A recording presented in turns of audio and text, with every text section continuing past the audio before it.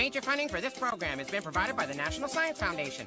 Additional funding has been provided by Northrop Grumman. Peep has a website. Science, games, and lots more fun. All at peepandthebigwideworld.org.